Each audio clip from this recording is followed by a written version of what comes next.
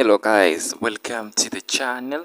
I hope you are all doing great. So guys uh u-Arthur Zwane the kaizer chiefs coach has revealed ukuthi there's still players. There's still more players that are going to be signed.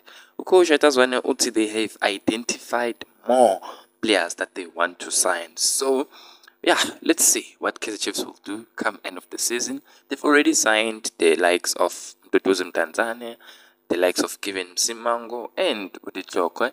So we'll see what else are they going to get.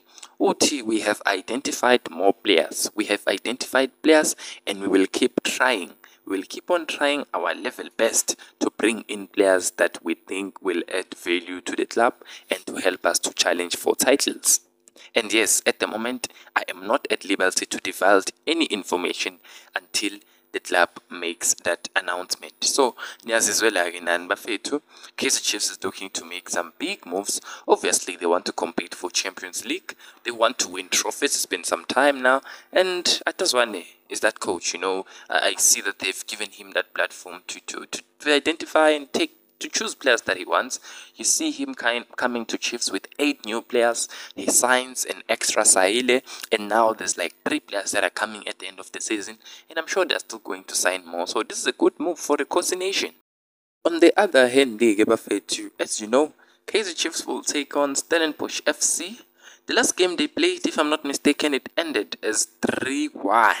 If I'm not mistaken, but I remember that's the game that Bimenyimana scored a brace you know. So, uh, the Stellenbosch, uh, you know, centre back, Sibiya, Uti, they are eager to learn, you know, whether the recent FIFA break has killed their rim as they resume against Kaizer Chiefs. And obviously, they want to beat Kaizer Chiefs over the weekend. Now, we know Stellenbosch, they come from a very good, uh, you know, they have a momentum. They, they, they played against Sundowns, they drew, and then there was the next match that they scored like 6 6 3 if I remember well. So they've been doing well.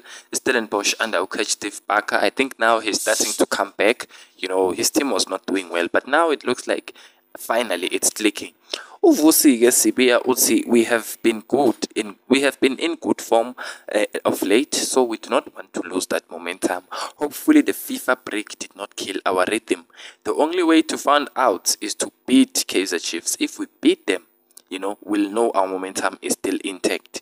To us, this game is very important to win because uh, more than anything, we want to solidify uh, our place in the top 8. We use the FIFA break mostly for ball work training sessions, trying to improve on keeping the ball and recycling it when we lost it. Remember, we also had five players away with the under 23 national team, so we couldn't really focus on trying to get combinations. This is what Vusi Sibiya is saying, bafethu.